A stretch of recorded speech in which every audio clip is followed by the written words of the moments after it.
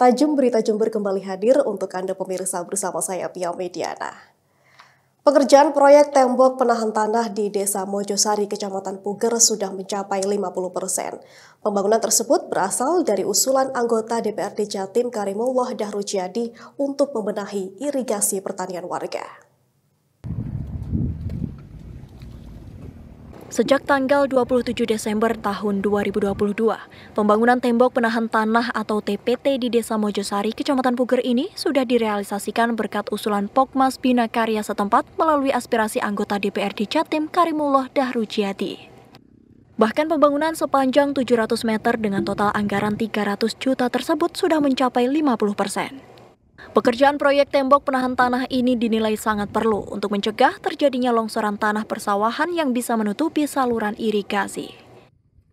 Warga berharap pengerjaan tersebut bisa selesai dengan kualitas yang baik agar memberikan manfaat yang optimal kepada masyarakat. Saya dari Pokmas Bina Karya, Desa Mojosari untuk pengajuan PPT penahan tanah supaya selokan tidak tergerus oleh air untuk pemanfaatannya untuk masyarakat untuk pertanian dan kami selaku Pokmas itu pengajuan lewat anggota Dewan Pak Haji Karim. Dari Puger, Bambang Sugiarto Jember, Satu TV, melaporkan.